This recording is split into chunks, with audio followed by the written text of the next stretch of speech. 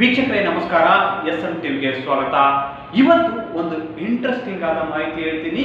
ಅದು ಚುನಾವಣೆಗೆ ಸಂಬಂಧಪಟ್ಟದ್ದು ಮತ್ತು ಚುನಾವಣೆಯನ್ನು ಗೆಲ್ಲಲು ರೂಪಿಸಿದ ರಣತಂತ್ರಕ್ಕೆ ಸಂಬಂಧಪಟ್ಟದ್ದು. ಅಷ್ಟಕ್ಕೂ ಆ ರಣತಂತ್ರದ ಬಗ್ಗೆ ಬಿಜೆಪಿ ನಾಯಕರು ಗಂಭೀರವಾಗಿ ಆಲೋಚನೆ ಮಾಡಿದ್ದ್ಯಾಕೆ ಅಷ್ಟೇ ಅಲ್ಲ, ಆ ಒಂದು ಭಾಗದ ಮೇಲೆ, ಆ ಒಂದು ಪ್ರಾಂತದ ಮೇಲೆ ಬಿಜೆಪಿ ಹೈಕಮಾಂಡ್ ನಾಯಕರನ್ನು ಹಿಡಿದು ರಾಜ್ಯ ಬಿಜೆಪಿ ನಾಯಕರು ಅಷ್ಟೊಂದು ತಲೆ ಕೆಡಿಸಿಕೊಂಡಿದ್ಯಾಕೆ ಹಾಗಾದರೆ ಯಾವ ಭಾಗದ ಮೇಲೆ ಕೇಸರಿ ಪಡೆ ನಾಯಕರ ಚಿತ್ತ ಹರಿದಿದೆ? ಈ ಕುರಿತು ಮತ್ತಷ್ಟು ಮಾಹಿತಿ ನೀಡ್ತೀನಿ. ಅದಕ್ಕೂ ಮುನ್ನ ನಮ್ಮ ಚಾನಲ್ ಸಬ್ಸ್ಕ್ರೈಬ್ ಮಾಡಿ, ವಿಡಿಯೋ ಶೇರ್ ಮಾಡಿ, ಲೈಕ್ ಮಾಡಿ, ಕಾಮೆಂಟ್ ಮಾಡಿ. ಕಳೆದ ಎರಡು ದಿನಗಳಿಂದ, ಅಂದ್ರೆ ನಿನ್ನೆ ಮತ್ತು ಮೊನ್ನೆ, ಬಿಜೆಪಿಯ ನಾಯಕರು, ರಾಜ್ಯ ಬಿಜೆಪಿ ನಾಯಕರು ಮುಂದಿನ ವಿಧಾನಸಭೆ ಚುನಾವಣೆ, ಅಂದ್ರೆ ಎರಡ್ ಸಾವಿರದ ಇಪ್ಪತ್ತ್ ಮೂರರ ವಿಧಾನಸಭೆ ಚುನಾವಣೆಯಲ್ಲಿ ಹೇಗಾದ್ರೂ ಮಾಡಿ ಅಧಿಕಾರ ಹಿಡಿಬೇಕು ಎಂಬ ಅಪಾಹಪಿಗೆ ಬಿದ್ದಿದ್ದಾರೆ. ಅಷ್ಟೇ ಅಲ್ಲ, ಈ ಕುರಿತು ಬಗೆ ಬಗೆಯ ರಣತಂತ್ರಗಳನ್ನು ಹೆಣಿಗೆ ತೊಡಗಿದ್ದಾರೆ. ಅಷ್ಟೇ ಅಲ್ಲ, ಕೇಂದ್ರ ಬಿಜೆಪಿ ನಾಯಕರಿಂದ ಕೆಲವು ಆಜ್ಞೆಗಳು, ಆದೇಶಗಳು ಕೂಡ ಬರತೊಡಗಿದವೆ. ಯಾಕಂದ್ರೆ ಈ ಬಾರಿ ಕರ್ನಾಟಕದಲ್ಲಿ ಬಿಜೆಪಿಯನ್ನು ಮತ್ತೆ ಪುನರ್ ಅಧಿಕಾರಕ್ಕೆ ತರಲೇಬೇಕು ಎಂಬ ಹಠಕ್ಕೆ ಬಿದ್ದಿದ್ದಾರೆ.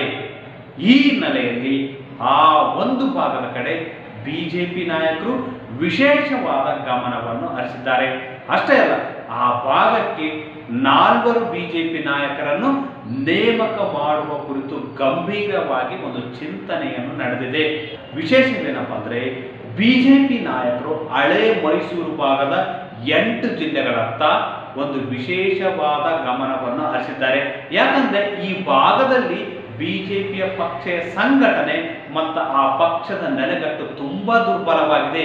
ಏನಿದ್ರು ಈ ಎಂಟು ಜಿಲ್ಲೆಗಳಲ್ಲಿ ಕಾಂಗ್ರೆಸ್ ಮತ್ತು ಜೆ ಡಿ ಎಸ್ ನಾಯಕರದೇ ಆಧಿಪತ್ಯ ಈ ಆಧಿಪತ್ಯವನ್ನು ಈ ಬಾರಿ ಹೇಗಾದರೂ ಮಾಡಿ ಮುರಿಲೇಬೇಕು ಅಂತ ಕೇಂದ್ರೀಯ ಬಿಜೆಪಿ ನಾಯಕರು ಒಂದು ಕಣ್ಣನ್ನು ಹಾಕಿದ್ದಾರೆ.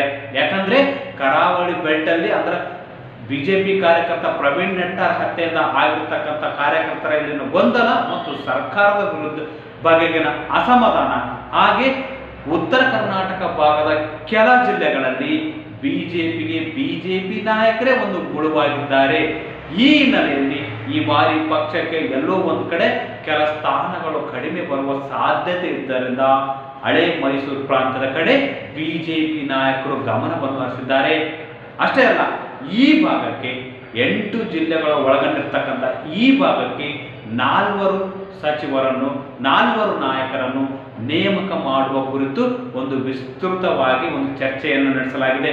ಯಾಕಂದ್ರೆ ಈ ಭಾಗದಲ್ಲಿ ಹಳೆ ಮೈಸೂರು ಭಾಗದಲ್ಲಿ ಒಕ್ಕಲಿಗ ಸಮುದಾಯ ಒಂದು ಪ್ರಾಬಲ್ಯವನ್ನು ಹೊಂದಿದೆ ಮತ್ತು ಅತಿ ಹೆಚ್ಚು ಮತದಾರರನ್ನು ಹೊಂದಿರತಕ್ಕಂಥದ್ದು ಒಕ್ಕಲಿಗ ಸಮುದಾಯ. ಹೀಗಾಗಿ ಇದೇ ಸಮುದಾಯದ ನಾಯಕರನ್ನು ಬಳಸಿಕೊಂಡು ಬಿಜೆಪಿಯತ್ತ ಒಕ್ಕಲಿಗ ಸಮುದಾಯದ ಮತಗಳನ್ನು ಸೆಳೆಯಲು ಬಿಜೆಪಿ ನಾಯಕರು ಮುಂದಾಗಿದ್ದಾರೆ.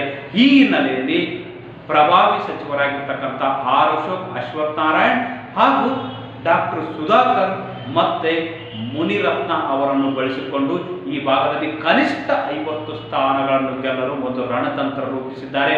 ಅಂದ್ರೆ ಹಾಸನ, ಮೈಸೂರು, ಮಂಡ್ಯ, ಚಾಮರಾಜನಗರ, ಬೆಂಗಳೂರು ಗ್ರಾಮಾಂತರ ಸೇರಿ ಚಿಕ್ಕಬಳ್ಳಾಪುರ, ದೊಡ್ಡಬಳ್ಳಾಪುರ ಮತ್ತು ಕೋಲಾರ ಜಿಲ್ಲೆಗಳಲ್ಲಿ ಬಿಜೆಪಿಯನ್ನು ಗೆಲ್ಲಿಸುವುದರ ಜೊತೆಗೆ ಉಳಿದ ಪಕ್ಷದ, ಅಂದರೆ ಒಕ್ಕಲಿಗ ಸಮುದಾಯದ ಕಾಂಗ್ರೆಸ್ ಮತ್ತು ಬಿಜೆ, ಕಾಂಗ್ರೆಸ್ ಮತ್ತು ಜೆ ಡಿ ಎಸ್ ನಾಯಕರನ್ನು ಬಿಜೆಪಿಗೆ ಕರೆ ತರುವುದರ ಮೂಲಕ ಪಕ್ಷವನ್ನು ಬಲಪಡಿಸುವುದು ಹಾಗೆ ಸರ್ಕಾರದಿಂದ ಆಯೋಜಿಸುವ ಜನೋತ್ಸವ ಕಾರ್ಯಕ್ರಮದ ಮೂಲಕ ಪಕ್ಷದ ವರ್ಚಸ್ಸನ್ನು ಅಲ್ಲಿನ ಜನರಿಗೆ ತಿಳಿಸುವುದು ಹಾಗೆ ಸರ್ಕಾರದ ಯೋಜನೆಗಳನ್ನು ಜನರಿಗೆ ತಲುಪಿಸುವ ಮೂಲಕ ಬಿಜೆಪಿಯ ವರ್ಚಸ್ಸನ್ನು ಹೆಚ್ಚಿಸುವುದರ ಜೊತೆಗೆ ಪಕ್ಷದತ್ತ ಮತಗಳನ್ನು ಸೆಳೆಯುವ ಒಂದು ಕಾರ್ಯತಂತ್ರವನ್ನು ಎಳೆದಿದ್ದಾರೆ.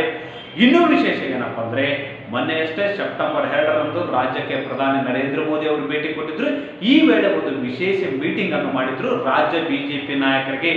ಪಕ್ಷ ಎಲ್ಲೆಲ್ಲಿ ವೀಕ್ ಆಗಿದೆ, ಎಲ್ಲೆಲ್ಲಿ ತನ್ನ ಸಂಘಟನೆ ಮತ್ತು ಬಲವರ್ಧನೆ ಇಲ್ಲವೋ, ಎಲ್ಲಿ ಪಕ್ಷದ ನೆಲೆಗಟ್ಟು ವಿಸ್ತರಣೆ ಆಗಿಲ್ಲವೋ, ಆ ಕಡೆ ರಾಜ್ಯ ಬಿಜೆಪಿ ನಾಯಕರು ಗಮನ ಹರಿಸಬೇಕು. ಹಂತ ಭಾಗದಲ್ಲಿ ಹೆಚ್ಚು ಸ್ಥಾನಗಳನ್ನು ಗೆಲ್ಲಲು ಶ್ರಮ ವಹಿಸಬೇಕು. ಅಷ್ಟೇ ಅಲ್ಲ, ಕೇಂದ್ರ ಮತ್ತು ರಾಜ್ಯ ಸರ್ಕಾರದ ಯೋಜನೆಗಳನ್ನು ಜನರಿಗೆ ತಲುಪಿಸುವ ಮೂಲಕ ಮತ್ತು ಆ ವರ್ಗದ ಎಲ್ಲ ವರ್ಗದ ಮತಗಳನ್ನು ಸೆಳೆಯುವಂತಹ ಒಂದು ಕಾರ್ಯತಂತ್ರ ಹೆಣಗಿರಿ ಎಂದು ಸೂಚನೆ ನೀಡಿದ್ರು. ಈ ಈ ಹಿನ್ನೆಲೆಯಲ್ಲಿ ರಾಜ್ಯ ಬಿಜೆಪಿ ನಾಯಕರು ಹಳೆಯ ಮೈಸೂರು ಪ್ರಾಂತಕ್ಕೆ, ಅಂದರೆ ಹಳೆಯ ಮೈಸೂರು ಪ್ರಾಂತದ ಎಂಟು ಜಿಲ್ಲೆಗಳಿಗೆ ನಾಲ್ವರು ಪ್ರಮುಖ, ಮೂವರು ಸಚಿವರು ಹಾಗೂ ಒಬ್ಬ ಶಾಸಕರನ್ನು ನೇಮಕ ಮಾಡುವ ನೇಮಕ ಮಾಡುವ ಮೂಲಕ ಅಲ್ಲಿನ ಮತದಾರರ ಗಮನವನ್ನು ತನ್ನತ್ತ ಸೆಳೆಯಲು ಜಿಲ್ಲೆಗಳಲ್ಲಿ ಬಿಜೆಪಿಯ ನೆಲೆಗಟ್ಟನ್ನು ವಿಸ್ತರಿಸುವುದು, ಪಕ್ಷದ ವರ್ಚಸ್ಸು ಹೆಚ್ಚಿಸುವುದು, ಜೊತೆಗೆ ಈ ಭಾಗದ ಎಲ್ಲ ಸಮುದಾಯದ ಮತಗಳನ್ನು ಕ್ರೋಢೀಕರಿಸಿ ಬಿಜೆಪಿಗೆ ಸೆಳೆಯುವ ಒಂದು ತಂತ್ರವನ್ನು ರೂಪಿಸಲಾಗಿದೆ. ಹೀಗಾಗಿ ಹಿರಿಯ ಸಚಿವರಾಗಿರ್ತಕ್ಕಂಥ, ಪ್ರಭಾವಿ ಸಚಿವರಾಗಿರ್ತಕ್ಕಂಥ ಆರ್ ಅಶೋಕ್, ಡಾಕ್ಟರ್ ಸುಧಾಕರ್ ಹಾಗೂ ಅಶ್ವಥ್ ನಾರಾಯಣ ಜೊತೆಗೆ ಶಾಸಕ ಮುನಿರತ್ನ ಅವರನ್ನು ನೇಮಕ ಮಾಡುವ ಸಾಧ್ಯತೆ ಹೆಚ್ಚಾಗಿದೆ. ಯಾಕಂದ್ರೆ ಈ ನಾಲ್ವರು ಮುಖಂಡರು ಕೂಡ ಒಕ್ಕಲಿಗ ಸಮುದಾಯದವರಾಗಿದ್ದು, ಒಕ್ಕಲಿಗ ಸಮುದಾಯದ ಮತಗಳನ್ನು ಸೆಳೆಬೇಕಂದ್ರೆ ಒಕ್ಕಲಿಗ ಸಮುದಾಯದ ನಾಯಕರನ್ನು ಮುಂದೆ ಬಿಡುವ ಮೂಲಕ ಆ ಸಮುದಾಯದ ಮತಗಳನ್ನು ಪಕ್ಷಕ್ಕೆ ಸೆಳೆಯುವ ಒಂದು ತಂತ್ರವನ್ನು ಬಿಜೆಪಿ ನಾಯಕರು ಬಳಸಿಕೊಳ್ಳಲು ಒಂದು ರೆಡಿಯಾಗಿದ್ದಾರೆ ಎಂದು ಹೇಳ್ಬೋದು.